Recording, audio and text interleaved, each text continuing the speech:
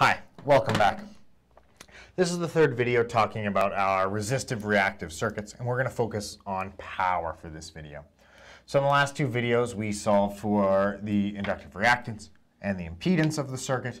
Then we went to solve for our current. Once we had our current, we took a look at our volt drops across the loads, and we added them up using an HV chart to ensure that they equaled our source voltage. What I want to talk about in this video, though, is our power relationships. Now, we can often go right from current and impedance right into power and skip voltage altogether. Just kind of depends on what we're looking to go for. Well, with power, what I want to do is I want to put it onto a power diagram. In this case, a power triangle, right? So I'm going to use a power triangle. I know that I've got true power on the bottom, right? And I've got quadrature power on the side, or reactive power, active and reactive. And then I also have my apparent power. So we're going to kind of talk about a couple ways to get these things. Um, what I like to do is I like to say, okay, P, I am I squared times R. Right, that's what I want to do. This is the work being done, the real power. I'm going to use my current squared times my resistance. And I have to make sure I'm using my resistance because inductive reactance doesn't give me true power. It only comes from that R or that resistance.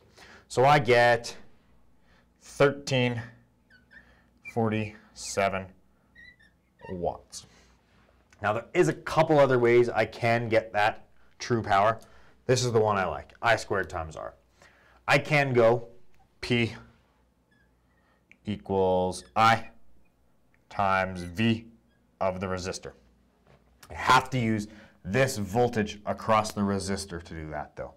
I can also go P equals V squared, and that's voltage of the resistor, right? This 116.08, not the 240 volts, divided by the resistance. Right, those are two ways we can use, and these formulas will carry throughout.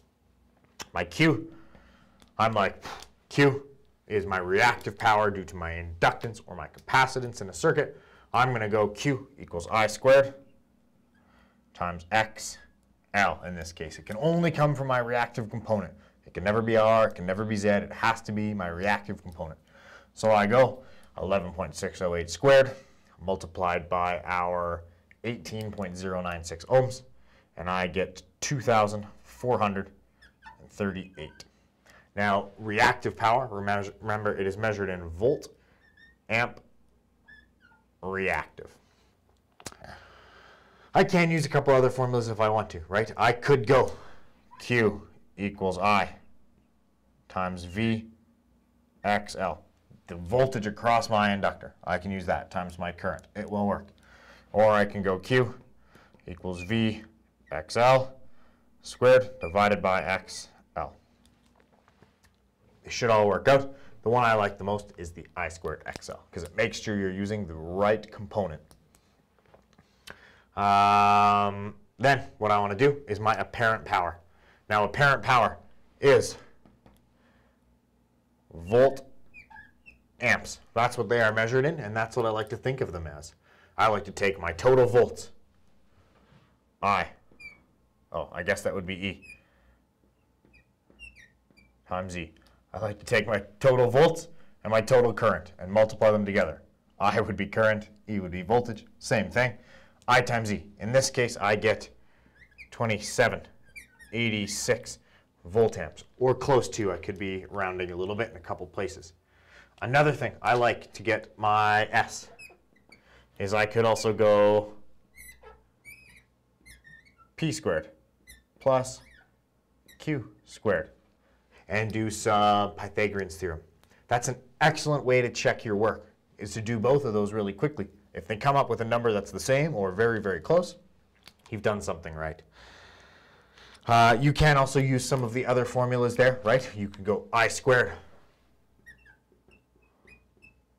In this case, it would be times Z, the total impedance of the circuit. Or you could go E squared over Z, right? Using the total source voltage squared divided by the impedance. So that's the power relationship that's going on here, right? Those are all our values, and that's great.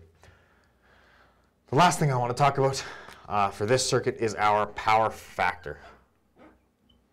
Now, power factor is always watts divided by VA, or a horizontal divided by a hypotenuse. And we can do this at any stage. We could have done it with our impedance triangle, horizontal divided by hypotenuse. We just take that impedance triangle, multiply by I squared, gives us this, right? P or R times I squared gives us power. XL times I squared gives us Q, right? So that would work as well. You can use it there. You can also do it in the voltage triangle, right? Because it's all those values times current. We'll fill in your values here. In this case, we get a power factor of 0.483. And if we type into our calculator arc cos 0.483, it will tell us our power factor angle. So this is a power factor, right? Always between 0 and 1. In this case, we can get a power factor angle of 61 degrees, which is perfect, because if we were to do the trigonomic functions over here, we get 61 degrees.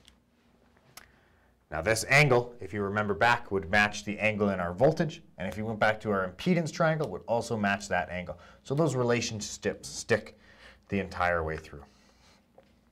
Uh, I hope that these videos helped you uh, work your way through a series resistive reactive circuit.